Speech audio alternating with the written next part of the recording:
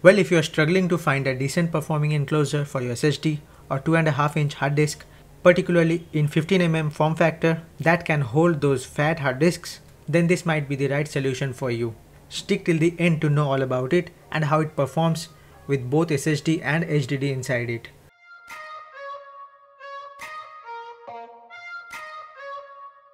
For starters, this is a 15mm portable hard disk from Seagate which is a 15TB unit.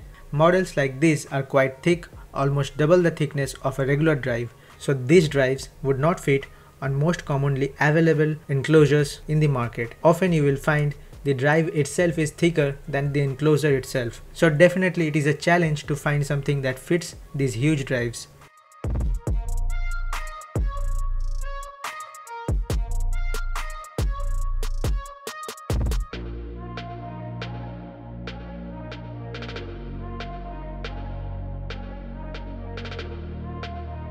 Fortunately, I found something exactly for this purpose. I got two of these in two colors, black and white, so it would be a nice comparison of the colors as well.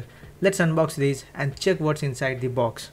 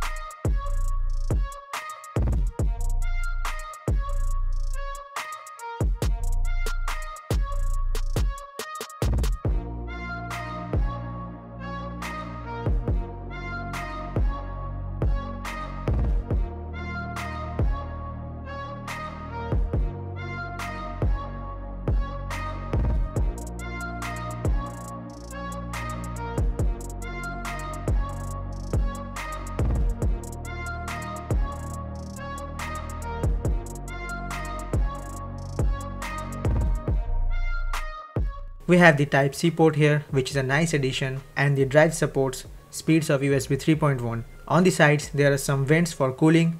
It is completely made of plastic but feels sturdy and most importantly holds the 15mm drive perfectly inside and it can close the lid. Now this enclosure can support any 2.5 inch hard disk or SSD of thickness 15mm and below. That means you can also plug a regular SATA SSD and use it that way. Let's get into the performance.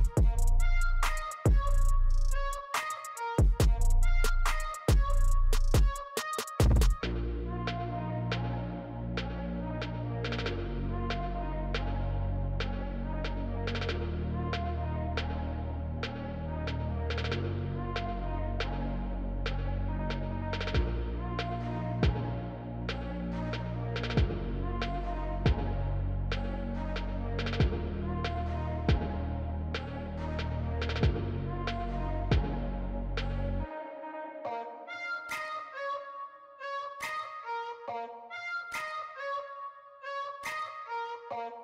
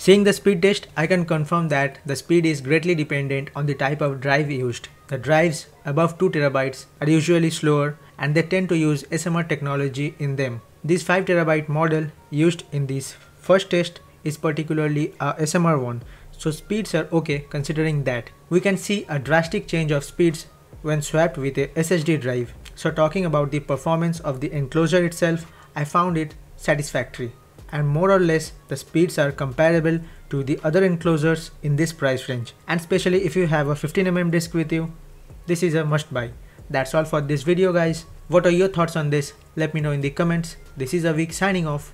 Have a good day